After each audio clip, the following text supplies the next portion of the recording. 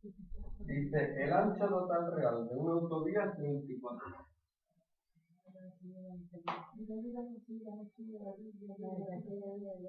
Si el plano en el que se encuentra dibujada esta escala 1,200, ¿cuántos milímetros tendrá el dibujo? Pon cuidado que lo tienen en milímetros. Da igual. ¿Esto cuántos milímetros son?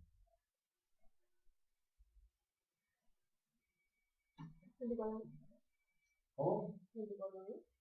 24. Sí. Números son mil milímetros. Son 24 milímetros. Entonces yo digo, si un milímetro en el plano son 200 milímetros, en la realidad, si en la realidad mide 24 milímetros, en el plano X. 24.000 partido 200 son pi, pi, pi, 120 milímetros. En los 10 milímetros, pues le damos milímetros. Lo puede haber hecho en centímetros. Igualmente, me ha dado centímetros y me ha pasado milímetros. Da igual la unidad. Al final, lo que te lo